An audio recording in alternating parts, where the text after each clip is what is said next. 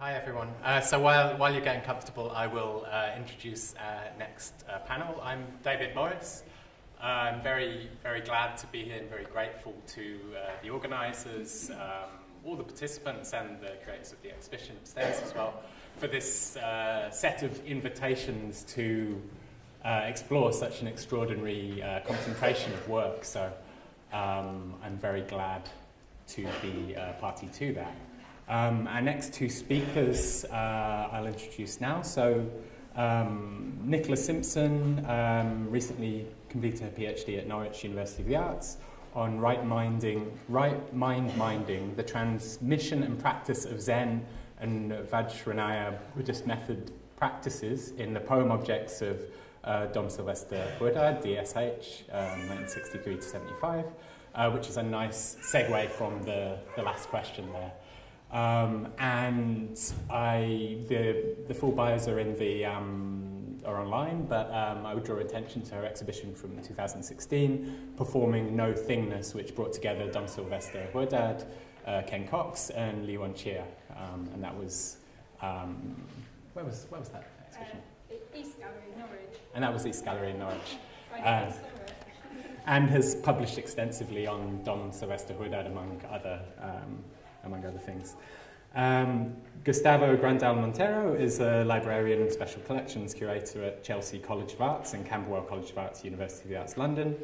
Um, trained as an art historian, he writes and presents regularly on arts and librarianship topics, including artist books and publishing, and his, his research currently uh, for his PhD is very much focused on concrete poetry in the UK context in the 1960s. Um, I just want to very briefly begin by thanking a couple of people. Um, first of all, John Rylands Library, who I've sort of dipped in and out of their archive for about 20 years, and they've always been amazingly supportive, particularly Stella Halkyard, who um, I'd like to a huge thank you to for um, all her help in understanding Li's work and Dom Sylvester's work. I'd also quite like to thank um, Nick Sawyer, who's sat with me in pubs many a time, answering my questions on Li and Dom Sylvester. and D David Medalla, Exploding Galaxy in the countercultural art scene in 60, so very th big thank you to Nick. And also to the Lisson Gallery and Matt Adele as well, who's here, um, who've allowed me to look at work there of both Dom Sylvester and Li. So my talk today, Begin Again, and again and again and again. Performance nothingness and dependent related transmission in the poem objects and poem environments of Li Yuan-chia and Dom Sylvester Houédard.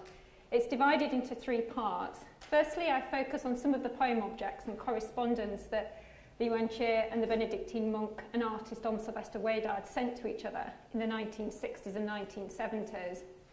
As I've mentioned, these archive documents largely based in the John Rylands Library. Houédard met Li initially through their shared involvement with Signals Gallery and later the Lisson Gallery. After Li established the LYC Museum, Houédard periodically sent Li batches of papers and manuscripts of his talk, writings and endless ideas for unrealised sculptural projects and poem objects. Most of these are directly related to Houédard's interest in Taoism and Buddhism. Therefore, I suggest the friendship between the two artists was centred around, in Houédard's word, a rarefied theological discussion of their shared interests in Buddhisms and Taoisms and the central importance that performance could play in the experiential transmission of these Eastern epistemologies. Secondly, I shall examine how an understanding of the Eastern phenomenological concept of no thingness or emptiness or nothingness, with its emphasis on the interdependence of all phenomena, underpins the dependence on the other, the participant, in the performative and textual strategies in these artists' work. I suggest such a discussion, focusing on dependently re related phenomena, provides a conceptual framework with which to envisage the network of influence, friendship and transmission between Li and Houédard and between other artists of the transnational, even a trans-historical avant-garde.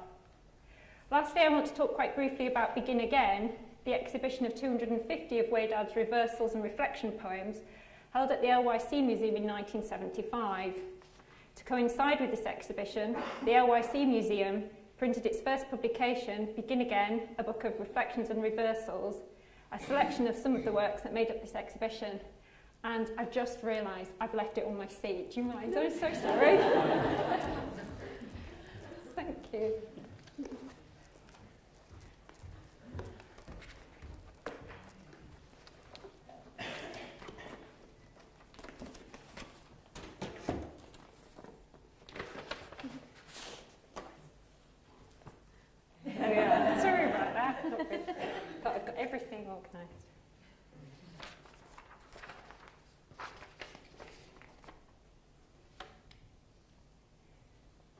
But I want to begin by drawing attention to the performance I'm staging for the duration of this session. This is a staging of Houédard's play, P stroke Q, a play he wrote for the French Fluxus artist Ben Vautier. And as he states in his article, Parameters and Parameters, the actors are two looking glasses placed on stage and the dialogue is them looking at each other. There are many interpretations of this play. Firstly, for example, what is known as an infinity mirror is created when a pair of mirrors are placed in a parallel way. A series of smaller reflections appear and give the impression of receding into infinity, which they aren't ideal mirrors, but you get that impression from theirs. Secondly, in calling it P stroke Q, Houédard invites a consideration of a post-Wittgenstein language game at play here, where the mirrors, as proposition, are a picture of reality or a model of the reality as we imagine it. Thirdly, in his article, Parameters and Parameters, Houédard frames this play as having a Cageian silent dialogue, performing the Buddhist experience, where the transmission of ultimate truth occurs without words. This play could also be said to perform the meditation at the heart of most Buddhisms, mind, reflecting on mind, and the consequent understanding of self and other. It is also a play I thought which actually fits quite nicely with some of the ideas in the exhibition at the moment. A sort of unknowable speech act, reflection, repetition and imagination. But the title of this play also demonstrates effectively Houédard's intention behind the development of the alphabets he used to make the reversal and reflection poems that featured in the Begin Again exhibition at the LYC Museum. In certain fonts, as you can see, I had to choose them carefully. P, um, P will reflect in a mirror as the letter Q. And the possibilities offered up by this reflective and reversal alphabet were a way for Houédard to explore the subtle codependence of each object on all other objects.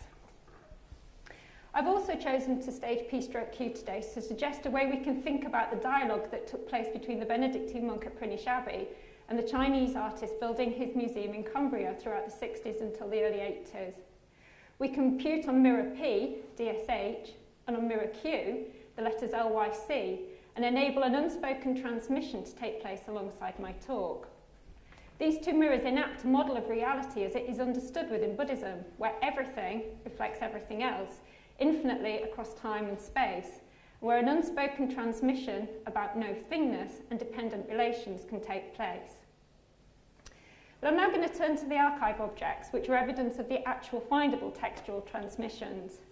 They are part of the story and friendship between Houédard and Li. And here we have one of the first poem objects Houédard made for Li, it's one of his Cosmic Dust Laminate poems, made in 1968. And Stella might correct me if I'm wrong, but I don't think it's ever been exhibited. Um, Houédard is better known for his typestracts, a number of which he made specifically for Li, um, as demonstrated by this work from 1969. However, between 1967 and 69, Houédard made many of these laminates for his friends that included cut-up text, found ephemera from the room he was in, spit, jam, dust, sand. Unfortunately, when I looked at this work, it was too fragile for me to unwrap it fully and examine what, if any, objects might con be contained within it, but Houédard has included a fragment of text that reads rarefied theological discussion. it's a phrase which aptly describes in some ways, and playfully, the conversation both artists had in their work about the experience of what I've mentioned earlier is termed in Buddhist and Taoist epistemologies as nothingness. One definition might be useful from um, the Tibetan Buddhist teacher Kelsang Gyatso Rinpoche. He writes, emptiness is the way things really are, Although things appear directly to our senses to be truly or inherently existent, in real reality all phenomena lack or empty of true existence. They are mere appearances to mind, totally dependent upon the minds that perceive them. The words of the American literary critic Jonathan Stalling are also helpful um, in explaining this concept of nothingness further. Unlike in Western philosophy and metaphysics, largely grounded in ontological being, not nothingness, the conceptual frameworks of the Mahayana, Zen, and Vajrayana Buddhisms and Taoisms do not make use of the concept of nothing. Instead, the primary philosophical argument is the rejection of the very category of somethingness and therefore its binary supplement. They each aim at emptying all somethings of their assumed autonomous thingness through admitting some degree of contingency. In other words, all objects have no inherent autonomous existence. They exist through a mere imputation of name on ever-changing, dependently related phenomena. All phenomena lack self-nature or findable autonomous essence, but are contingent, dependent upon their causes and conditions. To understand this experientially, Buddhisms are unanimous in their presentation of the meditation on the I, the self, as a way to unselve the self and thereby unselve all other phenomena. In Buddhist teachings, the definition of an I is imputed independence of one or any combinations of five aggregates, as they are known in English. What we experience and conventionally call our I is just a momentary mind event and an experience of one of these five aggregates. For example, an experience of form, such as our body, or a feeling, such as happiness or anger or boredom, a categorization, such as an opinion or a thought, all of which have no independent existence or permanence. However, these moments of mind run together very, very quickly, and to our untrained mind, it's undistinguishable where one begins and another ends. In other words, our I begins again and again and again and again. And it is through this conceptual and critical framework that we can understand much of both Houédard and Li's work and perhaps this rarefied theological discussion they were attempting to have. As Lee writes on the paper insert enclosed in Begin Again, in here, the first word you're greeted with, and I know it's in other publications as well, not just this one, who are you? Who are you? Who are you? It is a question that Li's poems and cosmic multiples and total environments ask.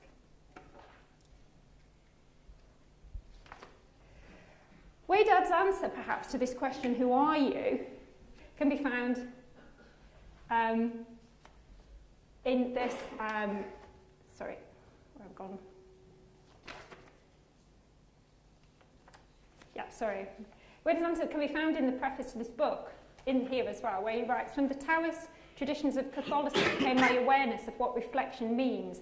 The I that is grammatically said to be my own self, my mind, my body, must be the peephole and access to the other. Why shouldn't words reflect on themselves? And there's another answer here in this work that's in the exhibition, um, where Dom Sylvester has sketched out autobiography of DSH for Li, where we can imagine the grid represents, I'm assuming, the 20th century.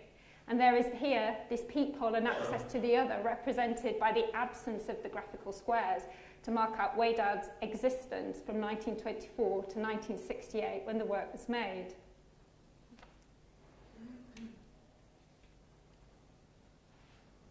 Here is another example of a laminate poem Huidad made for Li.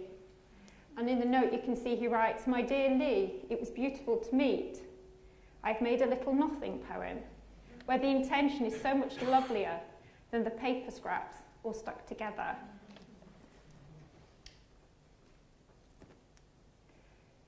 So if we can locate, this is the Nothing poem unwrapped, if we can locate in the composition of this poem the black field with a single white geometrical shape, some kind of interdependent dialogue with Li's cosmic multiples, then there is an equally interdependent dialogue with Houédard's structuring of nothing into his typestracts in Lee's use of the page in his poems. Therefore, alongside the poem by Huidad, we can consider the poem Lee included in his artist book for the All and Nothing show at the Lisson Gallery. And the poem in this reads, All and nothing show, all nature is my work, all my work is nature, changing from, from to from, in the night, in the afternoon, in the morning, whole I receive, whole I give away. To fully understand what Li means by the concepts of all and nothing, it is useful to think about all and nothing as codependent arisings, not binary oppositions. Both artists' poetic practice was singularly concerned with how they could bring onto the page what Stalling has written in terms of American poetics as an extra linguistic experience of emptiness.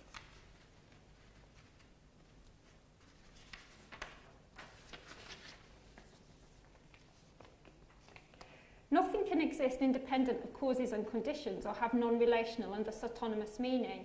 In this view, even emptiness is empty of emptiness, positive autonomous presence, as it relies on other, different signifiers like fullness or completeness to derive its meaning. The empty page in Li's poems and Dom Sylvester's poems can only signify negation through its reliance on other alphabetical signifiers in the surrounding words. There's no symbol for emptiness, a blank page or the word nothing can itself represent ultimate reality or offer an ontological stability, as it cannot hide its relational contingent nature. The nature of nothingness cannot be captured in language, but such contingency can be experienced in participation and performance. And I haven't got any show, um, images of the uh, Golden Moonshine listen, but we've seen some earlier. But this is a poem Dom Sylvester wrote. He didn't actually get to the show, I don't think, but he did write me a poem um, on occasion of the show. And it reads, My dear Li, thank you for your invitation. I wish I could come and see your studio, tree, transparent leaves showing nothing, vividly, cloud shell, blue foam, earth, from the moon, how well Lee fits. And obviously a reference there to the leaves and that we saw earlier in those other photographs. But how do we talk about this transmission of ideas of nothingness between a Catholic Benedictine monk whose knowledge and experience of Buddhisms and Taoisms was, like so many Westerners at that time, autodidactic, before he became directly involved in the migrant oral traditions of Tibetan Buddhism through Chogyam Rinpoche, and that of the Chinese migrant artist who states, I express in my art ideas which are based upon the religion and philosophy of the Chinese. To date, there's been little criticism that has focused on such East-West encounters within British avant-garde activity in the 60s and 70s. And this scholarly problem of framing East-West encounters within art history um, is clearly summarised by the American academic Chris Thompson when he writes of the difficulty in speaking simultaneously to the histories and modes of Western of uh, modes of analysis of Western art and visual culture, and that of the Buddhist traditions, which have played an unavoidable role in the lives and works of a number of 20th and 21st century artists. Thompson offers up this phrase, interhuman intrigue, to explain the constellation of individuals, ideas, and practices that are linked historically to a post war Buddhist Sangha of artists, lamas, teachers, and new Western converts that congregated in a peculiar form of collectivity. He suggests a strange kind of art history which can function as mapping of a constellation of individuals ambitions, failings, ideas, initiatives, works, and doesn't works. The artist and critic Kay Larson, in envisaging the interdependent network of influence and Buddhist and Taoist teachings that inform the artist John Cage, relies on a Buddhist image of the interdependence of all objects, the diamond net of Indra, to find a way of looking at the kind of countercultural and avant-garde activity of Buddhism and, and artists in America. She writes, Imagine the universe as a vast net of silvery cobweb like connecting tissue, stronger than steel, like a four dimensional tennis net stretched through infinity and eternity. At each node of the net is a diamond. Each diamond shines with its own inner light and collects and reflects all the light from all the other diamonds. Tug on the net at any point and you will send waves everywhere and lights flashing everywhere. No one diamond is greater than any other. All are linked. The diamond net of Indra is a shimmering image of interpenetration, which Larson argues can be used to understand Cage's own practice, but also how that practice is still affecting the transnational avant-garde today. Both Thompson's suggestion of an interhuman intermedia and Larson's critical framework derived from the image of the diamond net of Indra focus on the interdependence of people's stories, objects, and non-meetings in order to map out the relationship of a Western, here read American, avant-garde to Buddhism. It is an interdependence that, as I outlined earlier, is the performance of the play happening here in front of us in P stroke Q. Reginald A. Ray terms this in, uh, interpersonal body and articulates the meditative experience of this interpersonal body as follows. The fact is, the more we descend into our body, the more we uncover a vast, expanding interpersonal world of connections with other people. We discover connections with others that have already been there, perhaps forever, presenting themselves as fully formed in their existence, predating any level, sorry, predating any discovery of our own. We discover that our own body is, at a more subtle level, actually an interpersonal body. Our embodiment, this body of ours, has inherently a vast, perhaps unlimited interpersonal dimension.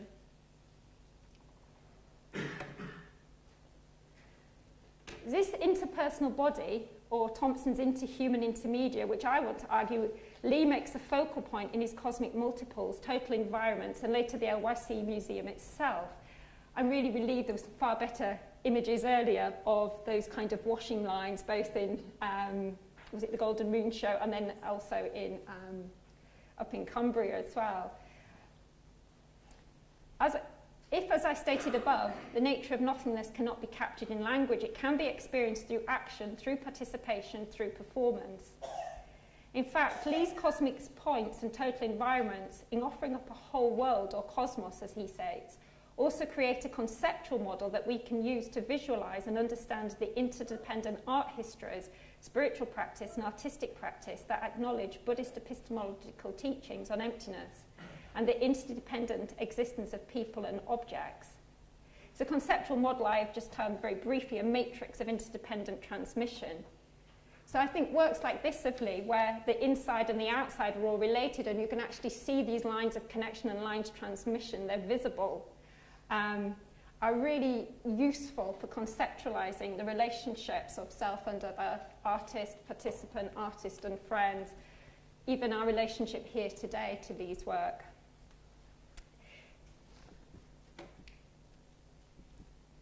In, in this unlimited interpersonal dimension of these total environments, in Li's words, my own beautiful world, spaces of alterity and spaces of experience, first Li, and then the spectators are placed at the centre of creating. Each act creating the world anew, again and again and again, in a series of moments, all dependently related and continuous. Li writes, My work is very simple and yet has many possibilities, so this means you can play and recreate anywhere, anytime. Such a process driven toy art can be given a further context by applying the analyses of Buddhism's as in performance by David E.R. George. It is crucial to understand Buddhism as a process, a practice where one by every position is vacated as soon as it is occupied. It is thus that the performative paradigm reasserts itself, for this emptying of all phenomena, of all substantialism, means that what we are left with are acts, events, and not objects.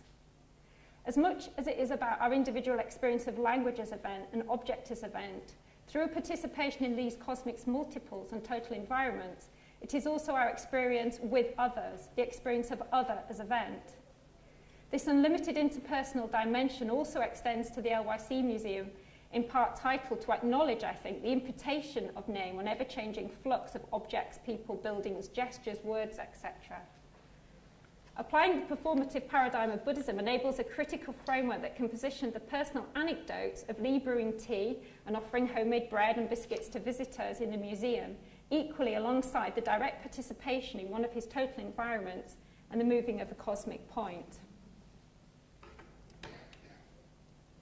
And there's another image. I think that's from the Oxford show, isn't it? Um, but again, that's a photograph of a photograph, so I apologise for that.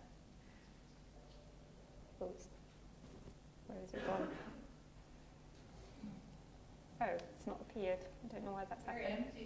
Yeah, it's very empty. It's perfectly empty. It's showing it's here on my screen, but I don't know why it's not on there. Let me try go back and come forward. Oh, well, we'll have to use that one instead. So finally, to discuss very briefly Houédard's exhibition Begin Again, another point or node in this constellation matrix or net of transmission. By the late 1960s, Houédard, informed by his reading of Taoism, was developing a typographical alphabet that could construct words which, when rotated or reflected, revealed an alternative word hidden inside. These poems were executed very simply in thick felt tip pen, predominantly in the colours to hand. They might have been the only ones available either at the post office in Prinknash or in the, in the um, Abbey itself, orange, green, red and purple, initially on paper and then later onto thin perspex sheets. By the mid-1970s, Houédard had created several hundred of these poems, and in 1975 they were exhibited at the LYC Museum. So here is um, an image from the invitation card. I couldn't show you the, the front of it, but this is what happens in the middle. It's um, a reproduction of the poem Begin Again, the title of the museum, and obviously if you could place a two-way mirror in the centre of the work, um, you would see both words um, reflected infinitely.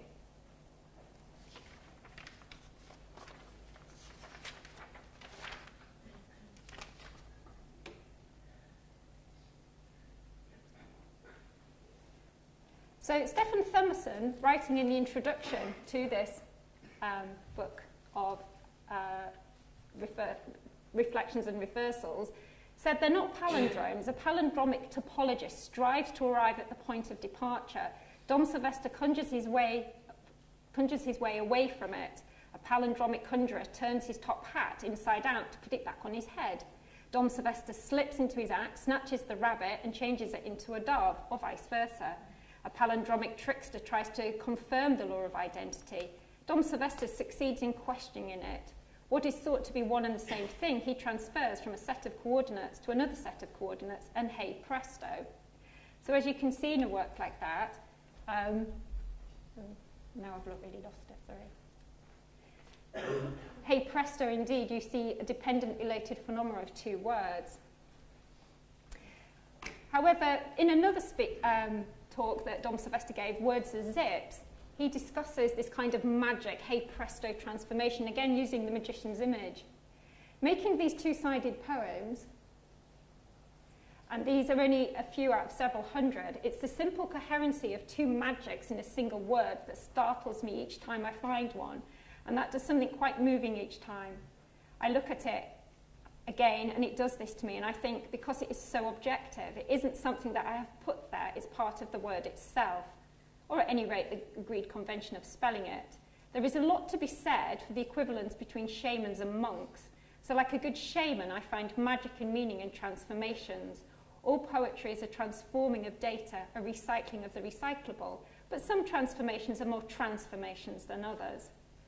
So these reversibles here I find have a strong element of the ability to form trances as they pivot from one formation to its transformation. So we can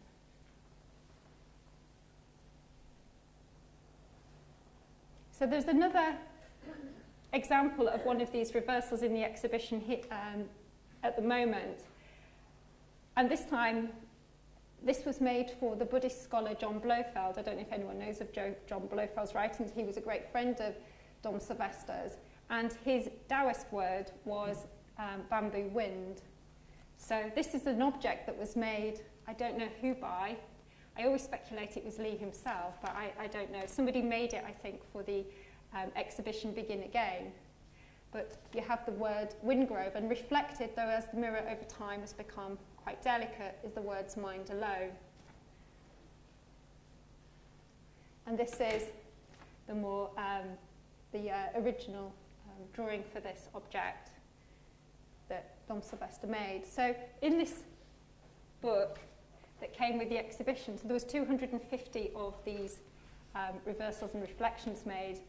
And in this book that was made specifically, we have another example here. He's still using the word mind. When Dom Sylvester hit upon a word that worked, he went with it. And so we have mind. You can see, and you can rotate it for ache. Um,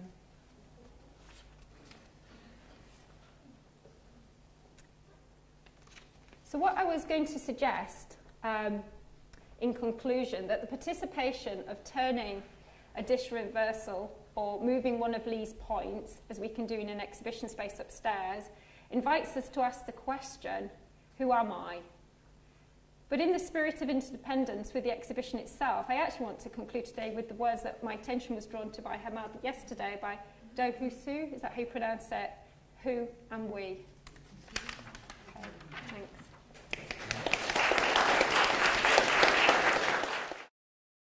Hello, good afternoon. Um, um, I would just like to start by um, thanking David for the introduction and the organisers and everyone involved with this uh, fantastic uh, conference. Uh, my talk is about um, books, uh, specifically the books that Yuan Chia um, designed and made himself um, at the LYC Museum, but also uh, previous um, to his move to uh, Cumbria. Alongside its um, extremely active exhibition program showing 323 artists between August 72 and March 1983, the LYC Museum ran a major publishing operation under the imprint LYC Press. In addition to nearly 100 exhibition catalogues, allegedly documenting every solo artist and group exhibition at the gallery, it also published artist books, monographs, excuse me, um, annual diaries, and the magazine YLC, LYC Arts. All the publications share the square format 14 by 14 centimeters and sometimes uh, the length of 14 pages and were designed and printed by Li Yuan-chia in situ with only a very few exceptions. Uh, engagement with the book, uh, with bookmaking and publishing predates the LYC Museum. During his time in Italy, he produced a number of handmade scrolls uh, made with ink and paint on fabric of different sizes, some mounted on cards as uh, for the concertinas. Uh, during this period, he also produced um, the print box, the white book. Um, much more significantly, from the point of view of Li's use of printed matter in his practice, um, are the series of publications produced after his um, arrival in England in 1966. Since his first solo exhibition at the Lisson Gallery, Li was involved in the concept and design of the publications made to accompany them. Uh, these publications were made in relatively large editions, several hundred copies, in a square format of 14 by 14 centimeters and 14 pages.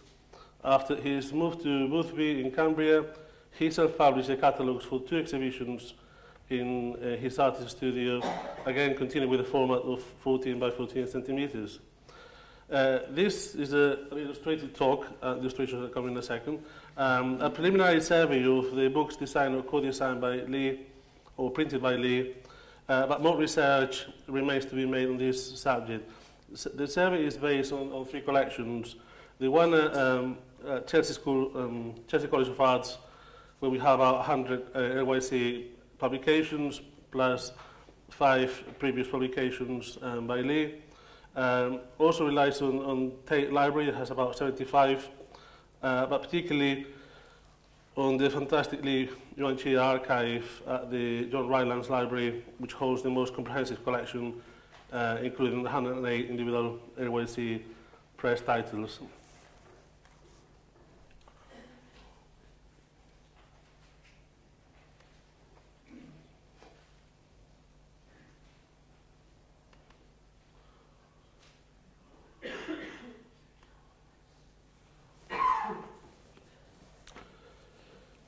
Okay, so I'm starting with um, early engagement, first engagement with book-related formats. Um, as mentioned, Li produced a number of handmade scrolls. This, by the way, is an installation shot for the, from the Camden um, um, show in, in 2001, where you can see three of these scrolls from the early 60s. Um, he, he produced a number of these handmade scrolls um, of different sizes, up to several meters long, uh, some mounted on card uh, for the concertinas, as you can see on this, on this picture.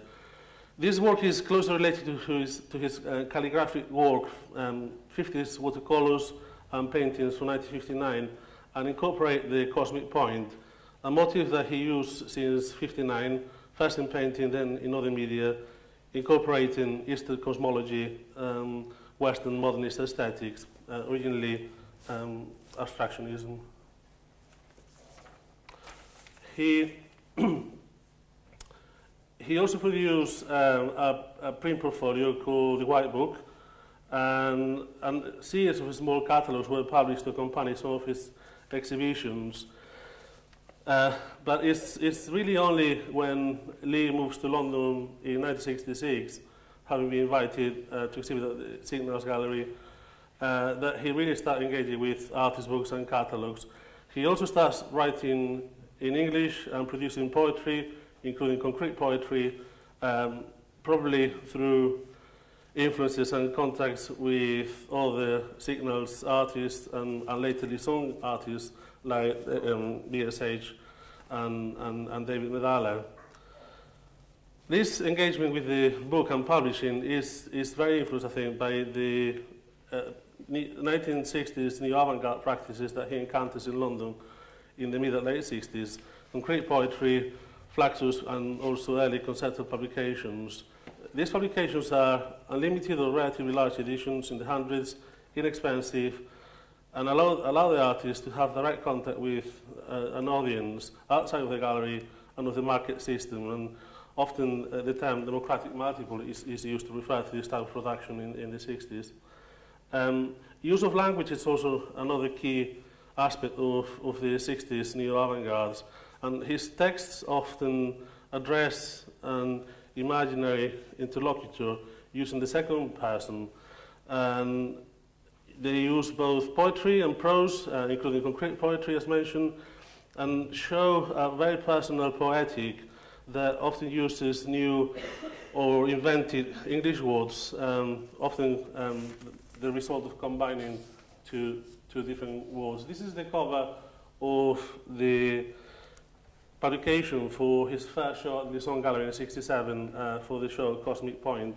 Again, 14 by 14 um, centimeters square, uh, 14 pages, includes two poems and a text, a meditation by Medalla um, about Cosmic Point, and then includes uh, a series of concrete poems and four cosmic points by by Li. Uh, this is one of the first ones. You can see here, for instance, a reference to the use of color and the symbolic value of color, red for the sun, white for the moon, gold for the earth and the stars, and black, black for cosmic.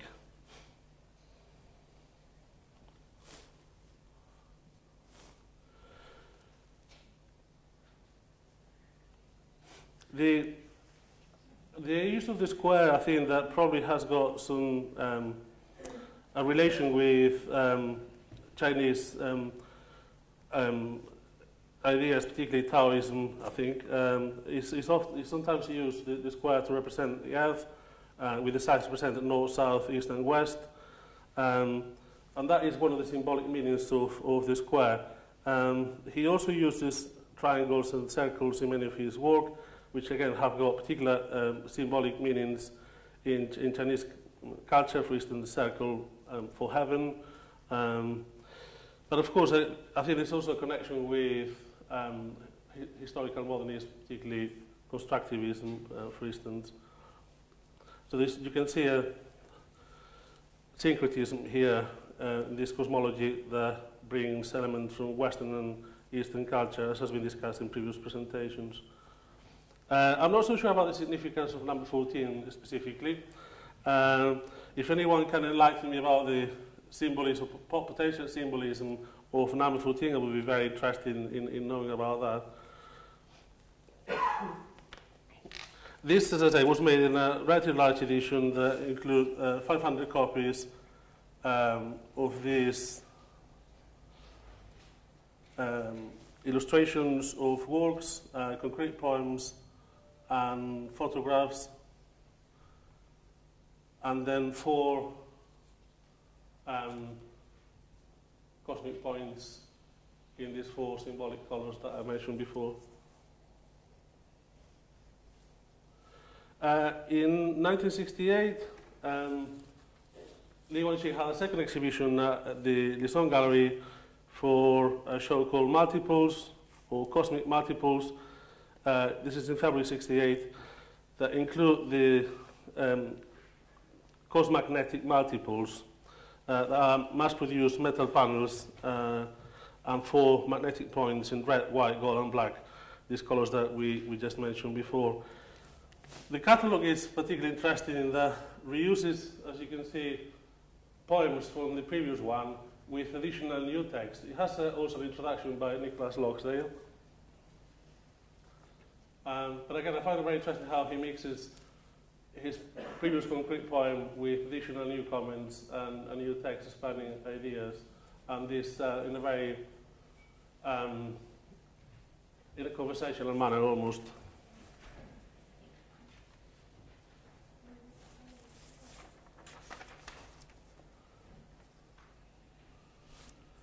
On the press release for this, for this exhibition, uh, Nicholas Logsdail writes that uh, believes that his work is an art for everyone. And this is actually the first example of multiples uh, being produced by the Lisson Gallery, which is something that they, they, they did in the late 70s with a number of other artists um, as well. And there's also, um, on the press release, a further elaboration about the symbolism of the colors that we mentioned before. In addition to uh, the reference to the sound for red, there's also reference to uh, blood and life, gold to nobility, black for origin and end, and white for purity, and use of mathematics as well for, for titles. Uh, this is the catalog for the third and final show of Li with the Lisson Gallery for the Moon Show in 1969. Again, includes an introduction by Nicholas Logsdail, and then a, a series of pages where you can see what are related to some of those installations that we saw earlier. Found interesting the use of color paper, red in this case. Again, this is 14 by 14, 14 pages. Um, and, and the work relates to the um, exhibitions, that, uh, to the installations in the gallery. But I think that, it, you know, the, they are works in, in their own right as well. I think that these catalogues have got a hybrid nature in that they, if you have a continuum where um, traditional catalogue documents an exhibition, an artwork, at the other end, a publication that is an artwork, I think this Lisson Gallery catalogues sit somewhere in between, but possibly closer to the artwork uh, in its own right than to the purely documentary um, side of the, spectrum.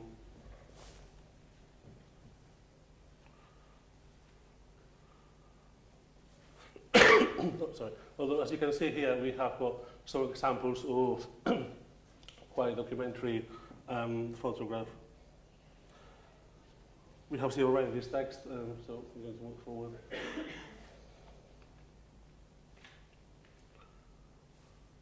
Okay, um, from 1968, uh, the artist moves to Boothby in Cambridge, as we, as we discussed earlier. He publishes two catalogues to coincide with the two uh, exhibitions that he holds in his studio.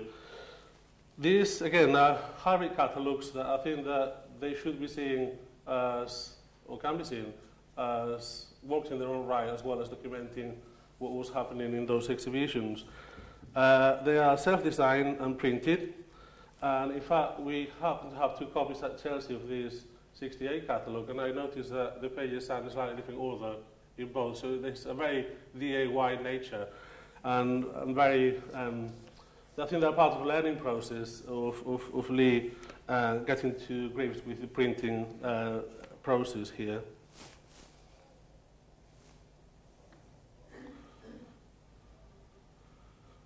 Again, examples of these uh, very almost conversational um, texts alongside.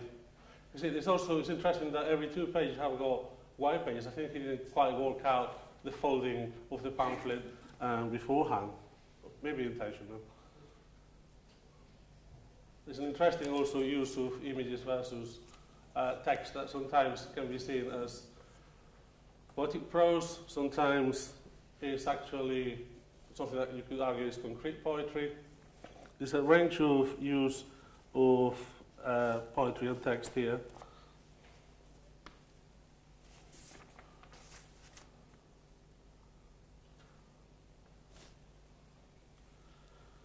Cosmic Point. Uh, this is the second catalogue that he published in 69. Who Are You? Again, use of concrete poetry,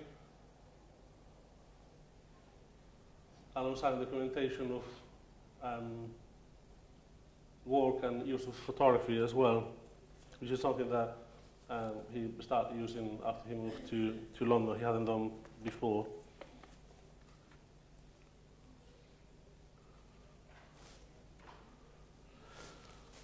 Okay, um, I'm moving on now to LYC Museum, LYC Press publications. From 1972, he, he started making a large amount of publishing in situ in, in, in the museum. Um, bookmaking and publishing is an area where museum and artists liaison practice, his, his curatorial and organizational work, and the work of others, uh, other artists, in interconnect and sometimes merge into each other. There are blurred lines here between the artist book and the catalog, but also between the institutional and the personal, um, the documentary and the, the artwork, um, this uh, wide ranges of poetry, including concrete poetry. Um, and I think that the publications, um, in the same way as the gallery, are both um, history of radical experimentation, but also constant change and evolution. Uh, this is uh, the cover of a book that we saw earlier, Water plus Color 56, uh, 56 stroke 7, which is an, an artist book that was published in 1977, 10 years after the first um, catalog published at the Lisson Gallery, which is uh, an autobiographical work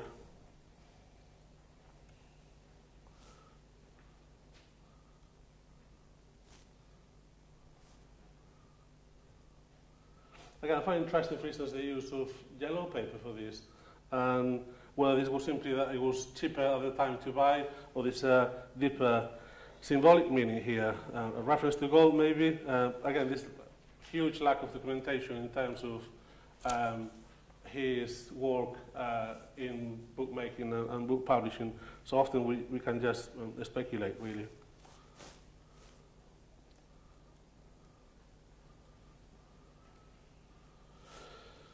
Um, as mentioned before, um, the, the catalogue, um, the, the series of catalogues that he publishes is an extraordinary program, both in volume and, and range.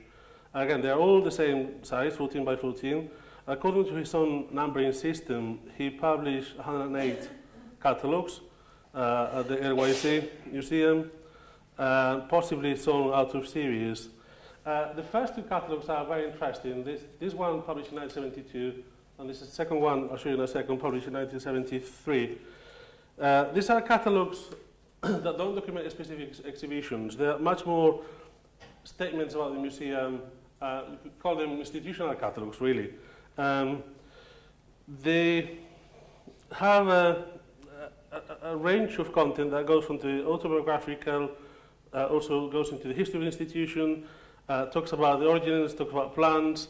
Uh, for instance, um, here you have got um, the use of the dot, uh, but also these uh, famous statements like the LYC Museum is me, and the uh, LYC Museum is all of you. Uh, starting from, I say, the very first catalogue that was uh, printed only a few weeks after the opening of the gallery in August um, 1972. Again, you can see the DIY nature of the, of the printing. Look at the numbers of the corners, for instance. Mm -hmm. But it's, it's a very interesting mix of the personal and the works of others, documentation and the artistic. This is the second one, published in 73 fantastic uh, concrete poetry cover with the names of the artists that have been involved with the museum uh, up to that date. It has got a very influential, or very important text, I think, this mistakes um, text, which is a real manifesto for the museum, um, and includes there uh, a statement where it says that the Theme Museum would never think of charging for one copy of the catalogue. So that's another interesting thing, you know, how, what, you know, what was the size of the editions of these catalogs that he was making, and the fact that probably they were given away for free to visitors. Probably I will see distributed also to friends of the museums or, or connections of the museums. Uh, in 1976, he published uh, another of these you could call institutional catalogues, so catalogues that are not about specific exhibitions, but about the museum. Uh, it's a fascinating uh, publication called What Does the Eye Do? That's, that's the cover. And starts with this fantastic, almost, I don't know, scene-like series of uh, handmade drawings and statements. And then you have got uh, a, a compilation of all of Li's statements about the museum in his own handwriting. Using um, offset lithography printed equipment, which uh, I believe that um, he had on site from uh, around 1975. It also includes visitor comments, quite a few pages of them. So bringing these multiple voices into this publication it's not just uh, Li's voice is, is the voice of, and not just the voice, but you can see the actual handwritten comments, uh, probably taken from the visitor's book, uh, going into the publication, which is quite an extraordinary thing, really. Uh, so the, the, the catalogues, the same as the diaries that I'll show you in a, in a moment, uh, the perfect example of how Sea Museum and Li's own practice uh, during this period a single project, really. Um, and again, you know, how the lines between the personal and institutional really blur into each other. The diaries are an even more unusual format. Between 77 and 83, he published several annual diaries. The, this is the first one from 77. Uh, that normally have got some sort of text by Li, and then that is followed by an actual calendar uh, that often has got things like reference to exhibition openings, but also tend, tends to be illustrated by uh, images of Li's own works.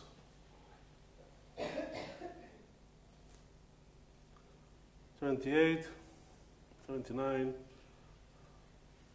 eighty, eighty-one, eighty-two, and the last one um, for 1983. Here you can see the actual collection at Chelsea of the catalogues made uh, at the museum. And I, th we, we, I think we're missing four or five. So it gives you an idea of the scale of the publishing project. Um, we already discussed the DIY nature of the early designs and printing. This changes over time almost constantly. Um, the small runs that he prints, uh, it's difficult to tell exactly, but when there's a statement uh, which are, is rare, uh, you often see that is uh, very small, you know, about 100 copies sometimes. Um,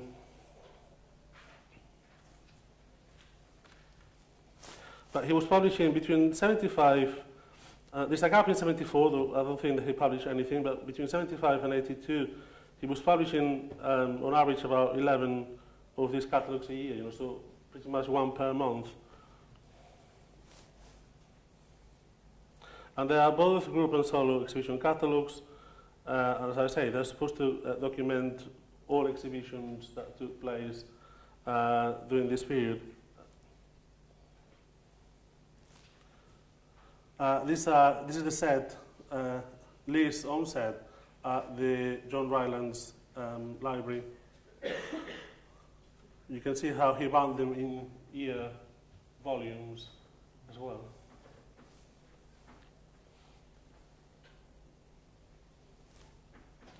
Uh, some of them are experimental in terms of form, like another concertina structure. This is um, Rod Inklings, for instance, published in 1975. Um, I'm finishing now. Uh, in addition to the material published for exhibitions or for the museum, um, the LYC Press had a series of monographs, uh, poetry, but also um, anthologies that were published not normally on occasion for an exhibition, certainly not documented in an exhibition. Uh, and you can see that for once, although some of the, most of them are square, these are not 14 by 14. That this is the exception to the to his publishing um, standard or um, habit. Uh, some of them are slightly larger, like for instance, uh, begin uh, again is 31 centimeters, I think. Um, and it's also unique in that several of them, not all of them, but several of them are partially or totally printed externally, uh, not by Li himself. And these are uh, Begin Again, that has been just discussed uh, by Nicola, and Flower Tales by Wilfred, Winifred Nicholson. Uh, so this is, is the Begin Again signed page copy from the George Rylands um, archive. This is the um, edition statement from uh, Nicholson's Flower Tales and title page. Um, the vision statement for the Norma Wagner book, and this is the last of the LYC Press publications. Uh, Wall for Poets, for Artists, published in 1981 and printed at the Tiny uh, Free Press. Uh, he didn't make any more books after 1983, although I think he has he did some scrolls, uh, one of them uh, at the Tate collection, but this was the last uh, series of books that he, he published. Thank you very much.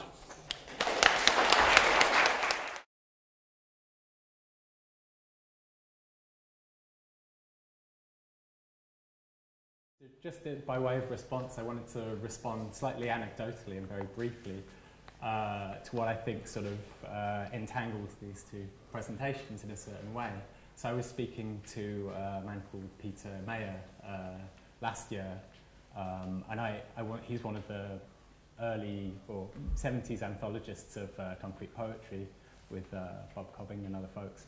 Um, but he's one of the few people from that scene, as far as I know, who uh, read and spoke Chinese. So I was very interested in this and wanted to talk to him about that uh, specifically, um, and also in relation to the concrete uh, experimental poetry uh, activities going on, on in uh, Taiwan, um, simultaneous with much of the concrete poetry that was going on uh, transnationally, but not really networked into that, um, that grid. Uh, so I was quizzing him about this um, with uh, Mary Mayo as well, and sort of emerging from him was the name of Li Yuan-chia. This was his, this was his response. Um, and so what I, what I appreciate about these two uh, presentations and uh, Li Yuan-chia's work is how his practice offers a bridge to think about not so much who, who is not recognized in terms of, say, a history of concrete poetry, but more how we can think differently about what, what we understand as something like concrete poetry and more uh, expansively to include um, you know, Chinese, Chinese script, for example, which um, doesn't feature in any of the anthologies in terms of contemporary poetry. It's always historical stuff.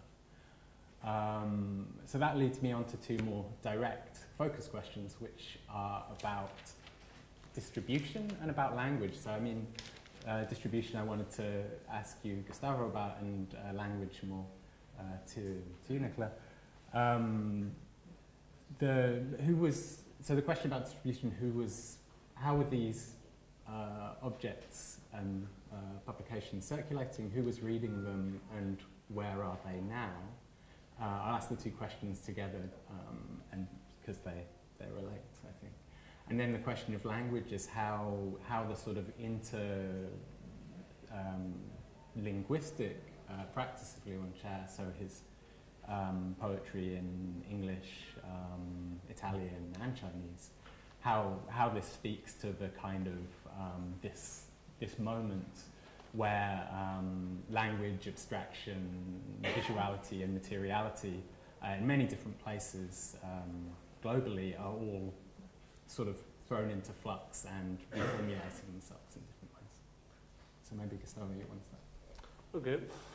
Um, I think that um, it's always the Li um, thinks that the publication is uh, a medium that allows an artist to, as I say, get out of the gallery, get out of the art market, and have uh, a direct relation with an audience, uh, and a different relation with an audience. I think that he probably saw that in London in the mid late 60s, and it was something that was uh, relatively well, not uncommon in new avant-garde circles in in around Europe and in North America. And I think that he has, he, that was something that resonated with his interest in participation, but also in making art that was accessible or could be seen as, at least from the point of view of his invitation, democratic, in, in you know, and open to, to everyone. I think that the, that the book, by definition, is a really democratic tool that allows you to distribute ideas, to distribute, um, in this case, art. Yeah, I like the thought actually of things that came out earlier that there will be these copies of um, these um, exhibition pamphlets and things, won't they, with in the stashes and drawers of people who just, as you say, walk in Hadrian's Wall and they're there in part of family archives that will be completely unrelated to any kind of art historical discourse or any institution and things. And I think that's fantastic that so many of these things will have found their ways into just homes and lives of people that, you know, came across the museum unexpectedly. So I just think most of them will just be with. Yeah, I think until very recently, apart from the collection of the George Rylands, as it Tate has got a decent collection, but it is, you know, very partial. Uh, Tate, we, uh, at Chelsea, we um, had a very good collection of the earlier ones, published by someone by himself. And then at some point, we acquired a whole set that is not complete, but it's almost complete. And I have my suspicions where it comes from, but I don't know where it comes from. And I have asked my predecessors, and no one remembers where it comes from. Uh, I don't think that, you know, there, there are a few copies in other um, public collections, but not very many. Uh, the Lisson catalogs, as, as, as mentioned, were published in quite high hundreds, and it was, you know, it's a very historically significant gallery now, and, you know, they, they will be, you know, those catalogs will be relatively uh, well, you know, spread in, in public collections. Not necessarily all of them, but at least some of them. His own catalogs, though, it's almost impossible to know. As I say, I haven't found any documentation, apart from when you have a, state, a statement saying what is the size of the edition. I got the suspicion that a lot of these catalogs were made, let's say, maybe 100 copies, maybe 80 copies, maybe 150 copies, and that visitors will take them away. And I, I, I'm pretty sure that some of them, particularly later on, were sent to friends of the gallery uh, by post but again, I have no evidence of that. um, so yeah, it's interesting. The, the distribution of these things, I think, is, is part of the things themselves in a way. Mm. Yeah, I think the, the friends of the uh, of the LYC all received um, a catalogue, and as an artist, you also uh, received 50 copies. Oh, uh, so that's good so to know. What I know. and uh, my catalogue was also in yellow and I asked him why, because I showed uh, Polaroids, black and white Polaroids and silk screens, and of course it looked, they all looked yellow. Yeah. but he said, well, I just have some yellow papers. I, I, wonder, is there anyone in the room who can claim a sort of full, full set? There must be someone here who has the has a whole stack. I don't know. I probably have a whole set. Okay. I have to come. Well, respect. but the friends also got uh, calendars as well. Oh yeah, yeah. So there's a question at the back, please. I think that as you, you have suspicions of where they come from, um, you were using, I think, examples from the Chelsea Library. Well, Clive Phillpot was librarian at the time, and he would know exactly where they came from. I'm afraid he doesn't. I, I asked him. And I think that he would tell you that they were part of a mail art program um, of the time, so they weren't acquired purchased by the library, but they were sent by um, the two various key people. And, and certainly this is where some things appeared in my mother's archive. Um, there are these uh, documents, and that's how they, they appeared there. They weren't purchased and they weren't visited, but they were on a mailing list or a, or a I mean- distribution list. But the bit that's really interesting, it's missing from most of the archives, are the invitations, because the invitations were definitely mail art oriented and were widely dispersed, um, but never really collected or curated. Well, th- Thanks for that answer. You're totally right that in many cases that would be the way where this type of material would make its way into the collection, but it's not in this case. Uh, I have discussed this with Clive, and, and I know for a fact that they were at quite at some point as a whole set, because they came in a box. so that's how I know they, they, they came together. But you're right that many other materials of similar, um, um, of a similar kind came through through the post, through invitations and in other, in other forms. We do have, uh, with this collection of catalogues at Chelsea, we also have uh, around 30 plus invitation cards as well, which I'm not sure whether the John Rylands necessarily will have. Uh, so some of them could be really rare, and they're very important material. You're totally right.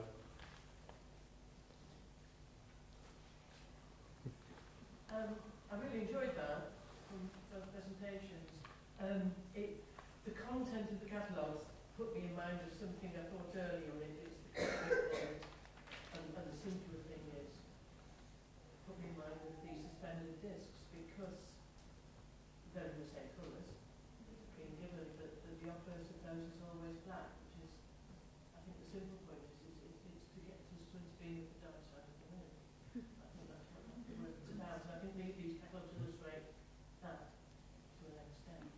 I, I, I think it's a, a thought there in the process. Um, I just wanted to say something to Alison for your paper because Nicola. you're the only other person who's mentioned Li's work in context of relationship with John Cage. And when I was researching my film upstairs, I, I became completely intrigued by wondering whether Li was aware of John Cage's work or not. And um, and I chose Steve Beresford to perform the music in response to my unedited footage uh, because he performed John Cage's work, and I felt there were enormous parallels in terms of the use of silence and nothingness, as you, as you talked about that, and, and, and, and, and in terms of when I was looking for the, the, the sound recordings, I listened to about 20 hours, and um, it was all a BBC programme called Music of Our Time, which was the kind of avant-garde classical programme that was going out on what was then, what became Radio 3, isn't it? It was now called the, the Light, no, what was it? Anyway, it was a different station. Um, and, and he must have known Cage's work, because Cage was very well known in the 70s. But I just Mm. asked Madeline if he, if, I mean, he never met him, or, or No, I don't think so, but But I mean, Dom Sylvester met Cage. Cage went to Prinknash, Yes, and right. at the time when Li knew Dom Sylvester, um, I think Cage came. I can only find um, still I might know better from 1972, just before Harpsichord was performed down in London. Um, Cage certainly went to Prinknash for a few days, and some quite nice letters he wrote, not to Dom Sylvester himself, but to other people. So. Um, they went on a tour. They certainly went on a tour of the local poets around Gloucestershire, but I don't know whether they went as far as Cumbria. I wouldn't know. They could. Well, Who would Cage, Cage went to York University, I didn't know that, and get taught Yeah. there, but um, But it, I certainly something I want to find out more whether they met or. Um, but they certainly would have. Kno- he would have definitely known of Cage, I think, through the network. I mean, the other thing that, that, that's always, I, I have this ongoing battle about the sound in my, s- the space, because it's the, it's the public space, it's the, you know, the, the, the Clore studio is, is where the children do, um, the, the, and, and and I'm, I'm constantly giving Kate a hard time because my film is about silence. You know, it's totally about the spaces between the sounds. And I've just realised that the same dichotomy dichotomy exists in, in Li's work because his own work was very, very silent and quite e- e- empty and, and solitary.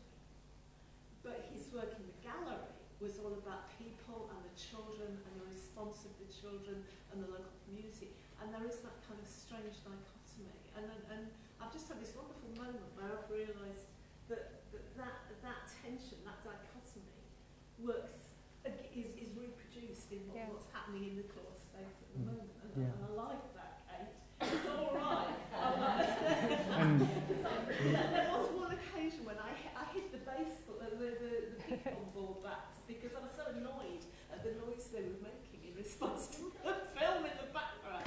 But it's, it's, that's what it's about. That's, that's what the museum was about as well. Because I think, I think in terms of, yeah, that Cagean sound, it's about interrelationship with sound and Yes. silence, isn't it? And So all being those to know. sounds, so what Cage said, all those sounds are what makes a kind Yeah. of music Yeah. as well. I think that's a really good segue to go and uh, experience the work. Um, and so we're, we're at lunchtime, and um, thank you both. Thank you all. And thank you all.